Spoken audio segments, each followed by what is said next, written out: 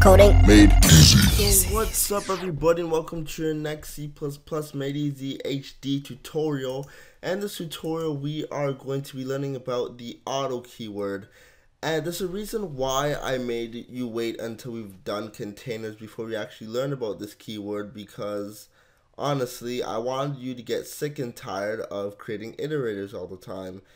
And um, the biggest reason why I wanted you to get sick and tired is because I wanted you to actually see the biggest convenience of this keyword. And this keyword is also, is also known as the auto keyword.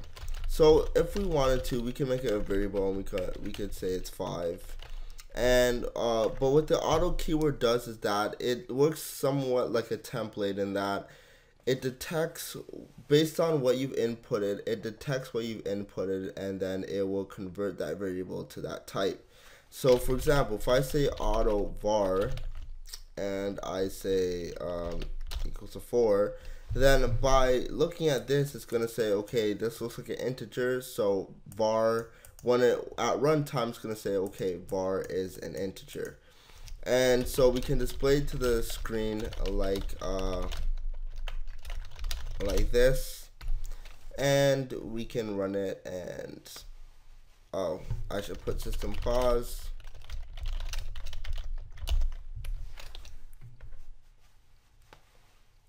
And as you can see it's displays number four. So nothing amazing right? And I want to go even a step further to prove that I'm not going to that I'm not lying. So I'm even going to introduce you to another keyword. Now a lot of people well not a lot but some people might say some people might agree with this keyword some people might not agree with it.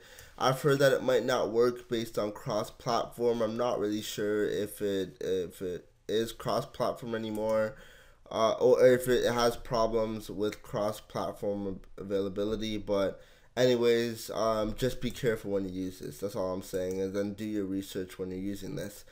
But for the sake of this tutorial we're just going to be using a simple function called the type id function. And i'm just going to say the type id of variable dot name. And what this is going to do is it's going to take the type get the type of uh, the variable that we put in there. And we call dot name it's going to take that and display it as a string okay? That's all it's going to do and I'm just going to run this. And as you can see it says okay the type is an int. So what it did is that it said okay we said auto var and then we put in the value 4 and it's like okay uh, the value 4 looks like an integer so let's convert it to an integer. Now to those of you who have used a scripting language before say like JavaScript or something like that it's kind of similar to that. Like whenever you create a variable, you won't actually specify the type. You'll use a keyword like var or something. Then you'll let the uh, you'll let the program itself determine what type it is. And using the auto keyword is great for for this. But you're thinking to yourself, okay, this is kind of pointless. Why would I do that when I can easily specify int and so on and so forth? And yeah, I understand what you're saying. So now let's just create a, uh, oh man, I'm tired. Let's create, uh, let's include the vector class. And, or you know what? Let's include map class. This is, this is better to include a map. So we want to traverse through the actual map, right? And so in order to do that, we need to have an iterator. So we can always do this and we can say map std string float iterator. And um and we can just name it and we can do that right? It works fine right? It, it will work for us um it's no problem but it's really really really really long. So um let's just just, just let's just add some things to our our student and we'll just say student peter. We'll do like what we've done in the in the past tutorial and we'll say Chris. And we'll have John. And whatever. And so we've created an iterator for this. And let's say we have another map and we have to it's a different type. We have to create a brand new iterator and we want to traverse through that and so on and so forth, it becomes kind of annoying to kind of make something the types only this long all the time. And yeah, you're saying okay, whatever, it doesn't matter. It's long, but you get used to it. Suck it up.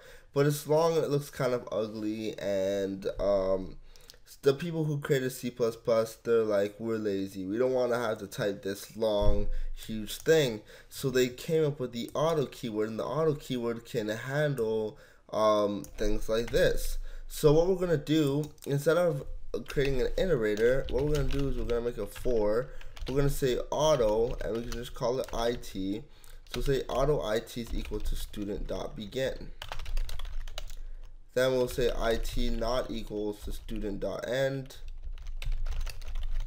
and it plus plus. And we will just we'll just say it dot first. it and a pointer to the first element. And so what did we do? We said auto it equals student dot begin. So in order to use student dot begin, uh, we need to be using an iterator. So it assumes that it is an iterator. So once we do this, it's gonna create an iterator, and then we're gonna loop till the iterator reaches the end, and we're gonna increase it by one increment by one each time. And by doing this, we run it, it still loops to it and traverse, traverses through every single element in our map. And voila. So by using this simple keyword, it saves us from having to type those super long things. And it can help with a lot of different things. For example, if you don't know what variable type is actually going to store, if you have a variable and you don't know what the variable is going to store, if it's going to store a string or something like that. For example, let's say you're looping through, say, a text file and you don't know if the text file is if you're going to be taking in an integer if you're going to be taking in a string. Well you could use the auto keyword and then you could use the type id or you could use a dynamic cast or something like that in order to check um, the type and we never learned about dynamic casting we will learn about casting later on but you can go and check to see if it is what type it is and then based on the type you can do certain things with it so the auto keyword is very very uh, very useful and uh, I hope you find a lot of use and I hope you make good use of it um, in your future programming endeavors.